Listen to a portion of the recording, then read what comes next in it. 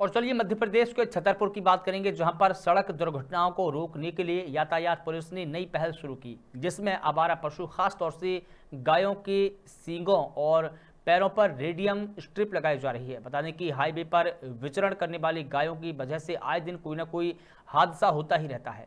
इस बात से परेशान होकर पुलिस ने नई तरकीब निकाली है और गायों के सींगों पर रेडियम स्ट्रिप लगा दी। छतरपुर से मुकेश भार्गव की रिपोर्ट। ये दोनों दृष्टिकोणों से किए गई है। पहला तो मानवीय दृष्टिकोण है जिसमें जानवर को जानवर एक्सीडेंट से बचते हैं और दूसरा ये भी दृष्टिकोण है कि एक्सीडेंट घटते हैं और साथ ही उनका ठंड से बचाव भी होता है। आवारा पशु जो रात में सड़क पे घूमते रहते हैं या दिन में उनको सींगों पे रेडियम लगाया जा रहा है और खोल पहनाया जा रहा है ठंड से